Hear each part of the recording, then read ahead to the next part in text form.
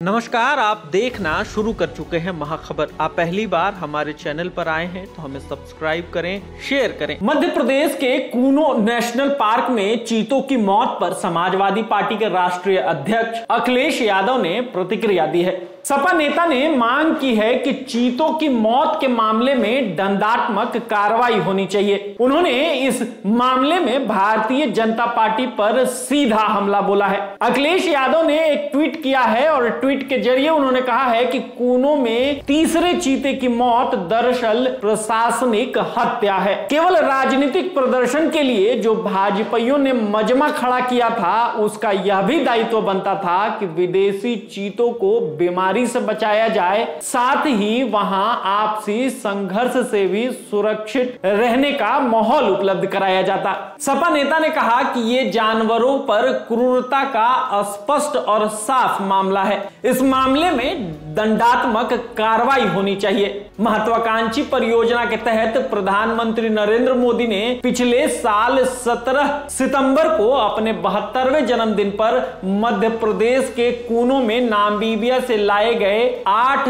चीतों के पहले जत्थे को एक पृथक बाड़े में छोड़ा था। इन चीतों में पाँच मादा और तीन नर चीते थे। बारह चीतों को दक्षिण अफ्रीका से लाया गया। इस तरह के दूसरे कार्यक्रमों में बारह चीतों को दक्षिण अफ्रीका से लाया गया था और 18 फरवरी को कूनो में छोड़ा गया था। नामीबियाई चीतों में शामिल साशा नामक चीते की मार्च में गुर्दे से संबंधित बीमारी के कारण मौत हो गई थी। वहीं दक्षिण अफ्रीका से लाए गए चीता उदय की 13 अप्रैल को मौत हो गई थी। उधर केंद्रीय पर्यावरण एवं वन मंत्रालय ने सोमवार को कहा था कि जून में मानसून की शुरुआत से पहले मध्य प्रदेश के कूनो राष्ट्रीय उद्यान में अनुकूल शिविरों से पाँच और चीतों को स्वच्छंद विचरण के लिए छोड़ा जाएगा।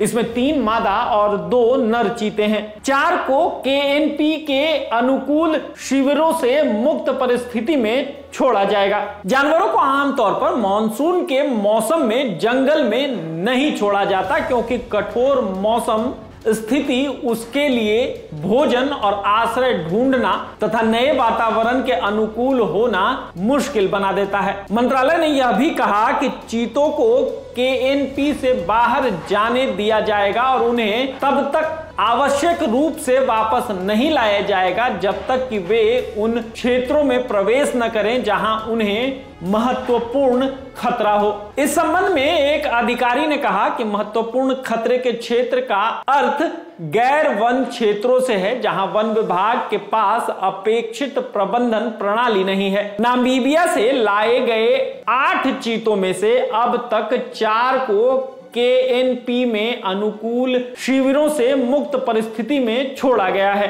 अब देखना यह दिलचस्प होगा कि जिस तरह से चीते के प्रोजेक्ट पर खुलकर अखिलेश यादव बोलना शुरू किए हैं अब विपक्ष इस पर क्या बात करेगा? क्योंकि माने न माने नरेंद्र मोदी के इस प्रोजेक्ट पर, जिसे उन्होंने जन्मदिन पर तोहफे के तौर पर देश को दिया था यह महत्वाकांक्षी योजना थी और इस प्रोजेक्ट पर देश के कई करोड़ रुपए खर्च हुए हैं।